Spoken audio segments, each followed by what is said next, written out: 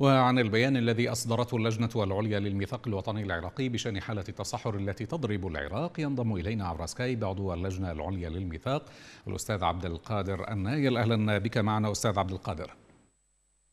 أهلا وسهلا بكم وبمشاهديكم الكرام. حياكم الله. أستاذ عبد القادر يعني حملتم في اللجنة العليا للميثاق الوطني الحكومات المتعاقبة مسؤولية الجفاف والتصحر.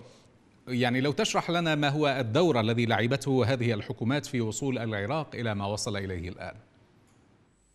من المعلوم تماما أن عملية الجفاف المائي الذي تضرب العراق ثم التصحر والتي ينتج عنها حتى حملات الغبار الكبيرة عند هبوب أي رياح تتحملها حكومات ما بعد 2003 ولا سيما حكومة المالكي 2011 عندما تواطأت مع إيران وبالتالي سمحت لإيران بقطع الأنهر العراقية التي تنبع من الأراضي العراقية والتي بشكل أحادي إيران رسمت الحدود وضمتها إلى حدودها.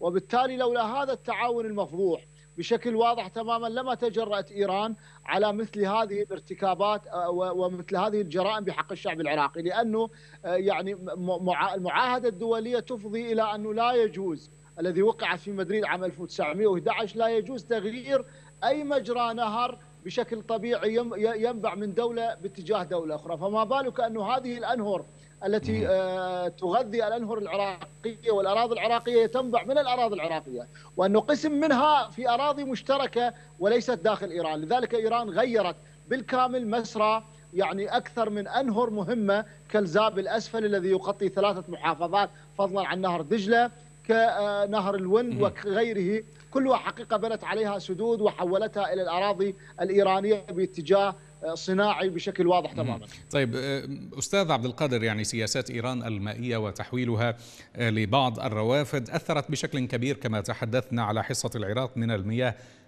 إذا أردنا هنا التحدث عن موقف الحكومات المتعاقبة ولا سيما حكومة نوري المالكي من سياسات إيران التي أضرت بالعراق كيف تصف هذه السياسات؟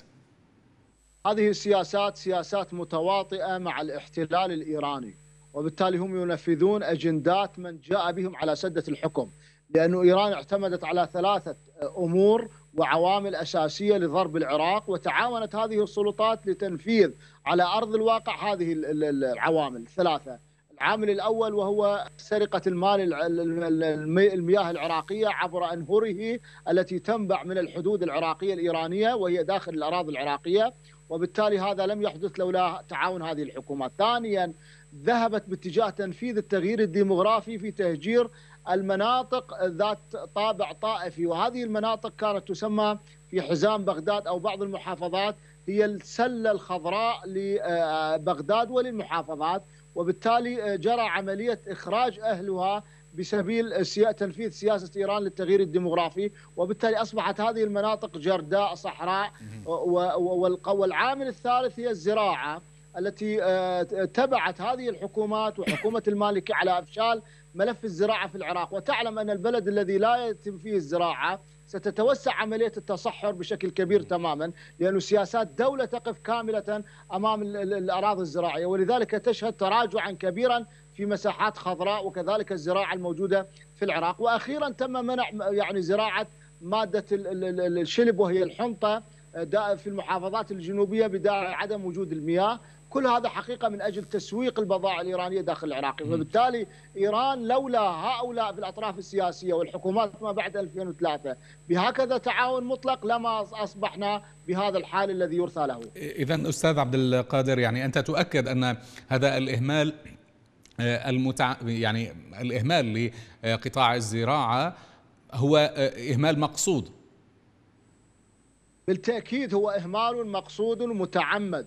من أجل أن تسوق إيران لزراعاتها ويصبح العراق حقيقة بلا زراعة لأن الأراضي العراقية أراضي زراعة ويستطيع العراقيين بل بل بجهود ذاتية المزارع العراقي استطاع أن ينتج في سنوات ماضية وللاسف الشديد هذه الحكومات لم تشتري حتى البضائع أو المحاصيل الزراعية من هؤلاء الفلاحين بطريقة فضلا على عدم وجود الدعم، يعني حتى الفلاح عندما كان يدعم نفسه بنفسه كانت الحكومة لا تريد أن يتم تصدير المحاصيل العراقية. لا للسوق العراقي ولا إلى خارج العراق ولا هم يريدون شراؤها. ولذلك حقيقة حتى يتم تمييز المنتج الإيراني داخل العراق. وهذا ما حدث بالفعل لأنه اليوم إذا ما نظرنا إلى الأرقام المالية فإنه 20 مليار عراقي هي حجم التبادل مع إيران 10 مليارات أو 8 مليارات دولار هي فقط للمحاصيل الزراعية. بينما العراق يتمتع بوفرة كبيرة من الزراعة ويستطيع أن يعتمد حتى على الآبار الجوفية. ومثال هناك عاملا مهما يعني لما طال ما نصح أهل الاختصاص فيه وهو بناء سد كما يدعى الميثاق الوطني العراقي لذلك في منطقة قرنة علي وهي منطقة يلتقي فيها نهر الفرات بنهر دجلة ثم يصب هذه المياه العذبة إلى شط العرب.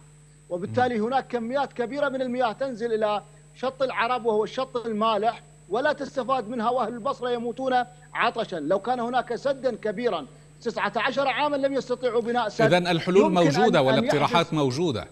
الحلول موجودة والاقتراحات موجودة ولكن الحكومة تمتنع عن اتخاذها. بالتأكيد وهذا ما يجعل أنهم متعمدون في عدم تنفيذ ذلك. ومنها الآبار الجوفية العراق يمكن أن يعتمد في المناطق الصحراوية البعيدة وبالتالي يشجع عمليات الزراعة. ومنها ما جرى اقتراحه أيضا في لجنة الميثاق حول إعطاء المساحات الزراعية لطلبة كلية الزراعة في الجامعات العراقية كل بمحافظته. وبالتالي يمكن الاستفادة من طلبة كلية الزراعة بإعطائهم يعني أراضي يزرعونها مقابل زراعتها ومقابل استصلاحها وبيعتمدون على الآبار الجوفية وبالتالي يمكن أن نشهد طفرة حقيقية في المساحات الخضراء فضلا عن الزراعة فضلا عن الاكتفاء الاكتفاء الذاتي اليوم العراق أمام حقيقة مجاعة حقيقية سيتعرض إليها خلال الأشهر القادمة لا سيما بعد منع سلطات الهند من تزويد العراق بالحنطة وبالتالي نحن أمام كارثة أخرى مع الماء وهي الغذاء، لذلك هؤلاء يتحملون مسؤولية عطش العراقيين والغبار الذي يحدث الآن بشكل كبير أو عدم وجود مصدات له وكذلك إهمال الزراعة أو فقدان العراق لثروته الزراعية. نعم. إذا كنت ضيفا عبر سكايب عضو اللجنة العليا للميثاق الوطني العراقي الأستاذ عبد القادر نايل. شكرا جزيلا لك.